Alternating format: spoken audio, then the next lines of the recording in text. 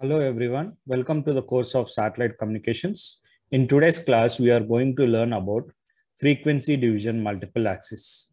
As the name indicates frequency division multiple access, we are giving access to multiple users based on the division of frequency. Okay, so here what's happening is an FDMA frequency division multiple access assigns individual channels to individual users. Each user will be given or assigned a individual channel. Okay. So here what happens, each user is allocated a unique frequency band or channel. Okay. So everybody will be having their own channel or an own frequency band for the transmission or the reception of their signal. Okay.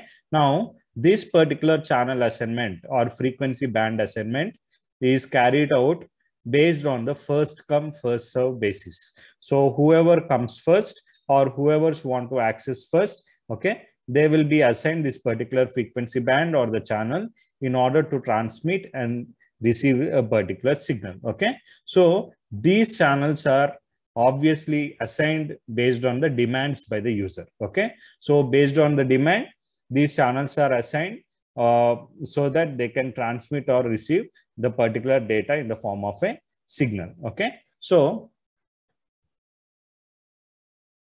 as we have already discussed, each individual user will be assigned and each uh, frequency band or a channel. So same frequency will not be assigned for any two uh, different users. Okay. So there won't be any same frequency assigned to a similar uh, two different users. Is a unique frequency will be allocated to each and every uh, user. Okay, so it contains guard bands between uh, each frequency user to another frequency user such that there won't be any kind of adjacent channel interference. Okay, so we can clearly, if you see the diagram over here, so there is a gap between gap between user one as well as user two, right? Okay, so there is a guard bands which will be guarding these particular two different frequency bands such that there won't be any kind of adjacent channel interference. Okay.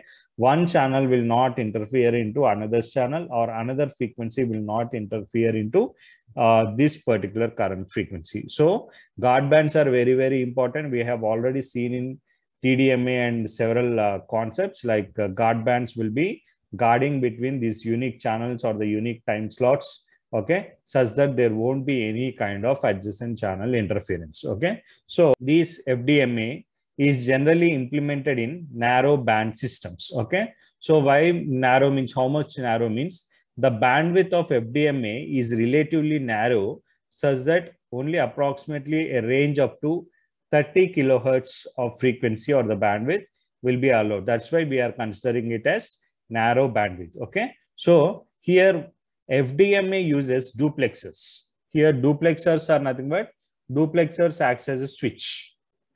So whenever at the transmission and the receive, uh, receiving time, these duplexers acts as a switch for transmitting the signal as well as the receiving the signal. Okay. Whenever they are in the uh, transmitting mode, this duplexer acts as a transmitter. Okay. Transmitter switch. Whenever this particular source is in the receiving mode okay so this particular duplexer will act as a receiver switch okay so as this fdma using a switch switch called uh, duplexers uh, since both the transmitter and receiver need to operate at the same time this results in the increase of the cost okay so if you are going for an fdma uh, concept or an operation it uses duplexers. Due to the duplexers usage, the cost might be uh, increased. Okay. Now, same antenna is used to serve multiple channels or users. Suppose there are 10 users. Okay. So we can't uh, uh, practically implement 10 different antennas for 10 different users, right? As they are using 10 different uh, frequency bands or the channel. So help of a single antenna only, okay, we are uh, uh, going to serve multiple channels or users.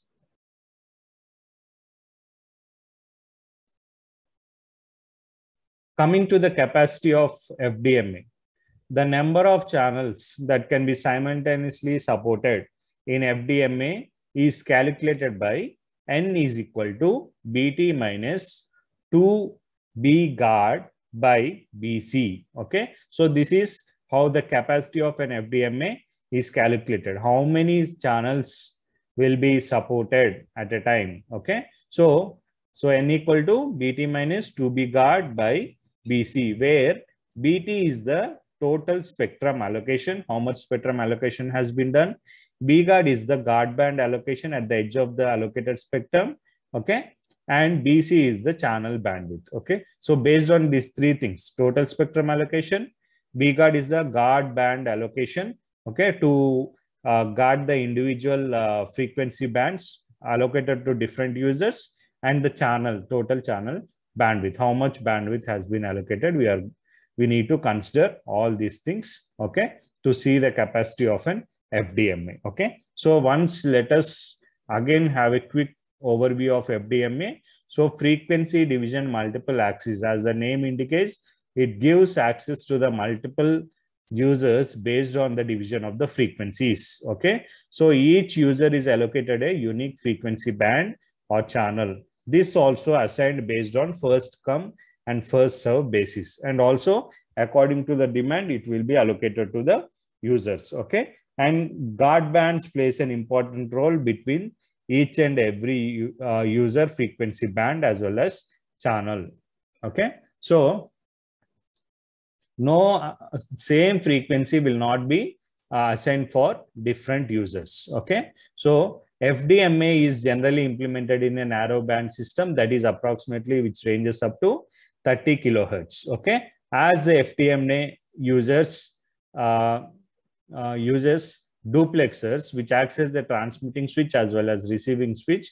The cost of the concept or implementation of the fdma is little bit uh, higher okay? The cost is higher or it is costly okay? So a single antenna can also serve the implementation of fdma or giving services to multiple channels or users okay? How the capacity of the fdma is implemented means so it is based on the how many number of channel it can simultaneously support okay? So the number of channels it will simultaneously support in an fdma is given by n is equal to where n is the number of channels is equal to bt minus 2 b guard by bc where bt is the total spectrum allocation okay? And the b guard is the guard band allocation at at the edge of the allocated spectrum okay? Guard band and BC is nothing but the channel bandwidth. Okay.